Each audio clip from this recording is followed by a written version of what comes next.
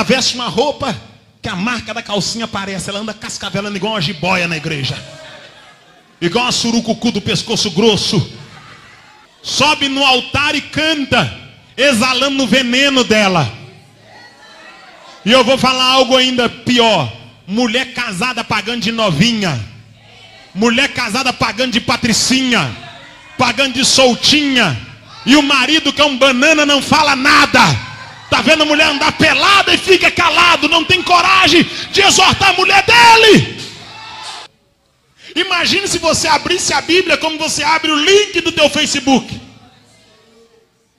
Imagine se você curtisse a Bíblia como você para para curtir as fotos que alguém posta. Imagina se você dedicasse tempo e devoção à palavra, como você dedica tempo para fazer uma selfie mordendo a linguinha. Carinha de sapeca. Carinha de perigosa. Hã? Olha para cá que eu vou te mostrar. Olha para cá. A foto das crentes, olha. As irmãs fazendo foto. Aí, aí, aí. Tem foto de irmã assim, ó.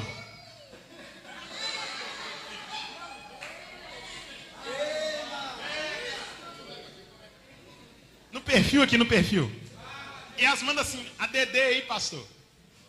Dedê, e a Dedê é aceitar, né? Aqui.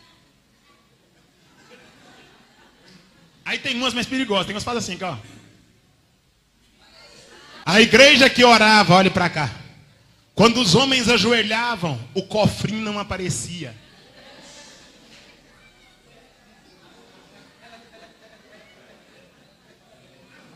Aquela igreja que estava orando, ela não ficava no WhatsApp na hora da oração. Não era uma igreja que os homens fazem a sobrancelha e lisa o cabelo. Não é uma igreja que os homens estão preocupados, irmão, já imaginou? O pastor Tiago me liga, eu falo, não posso atender, que eu, tô, eu rodei toca. Eu estou relaxando o cabelo, me liga depois. Já imaginou? O pastor Tiago me liga e fala, pastor, eu quero que você venha pregar aqui. Eu falo, pastor, não posso atender agora, que eu estou fazendo a minha sobrancelha. Eu estou fazendo a minha unha. Estou com a mão na água quente, com a mão na água fria. E daqui a pouco eu vou rodar toca, eu vou relaxar o cabelo, irmão. Menino é menino e menina é menina macho é macho, fêmea é fêmea. Em nome de Jesus, toma atento hoje. Na minha época de jovem, olhe para cá, na minha época de jovem, rapaz não era feito para ficar no manicure. Rapaz era feito para peneirar areia, para carregar concreto, para carregar tijolo, para carregar cimento. Na minha época de jovem, rapaz colocava o, o, o, bujão de gás nas costas e carregava. Na minha época de jovem, rapaz pegava pá e enchia caminhão de areia, carregava pedra para fazer alicerce, amarrava ferragem. Na minha época de jovem, rapaz não andava com a calça coladinha, a calça apertadinha, tênis laranjadinho, tênis vermelhinho, rosinha, bonino, aleluia, sobrancelha fininha, unha feitinha, aleluia. Pede a Deus para te salvar de novo, cabra ruim.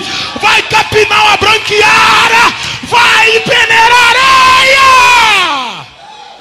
Porque se Deus não fizer alguma coisa, daqui cinco anos não haverá igreja no Brasil, não haverá avivamento no Brasil. Se Deus não levantar uma turma de doido que prega a verdade, que não está preocupado com o cachê, que não está preocupado com a fama, mas que fala o que Deus manda, daqui a pouco não haverá um remanescente.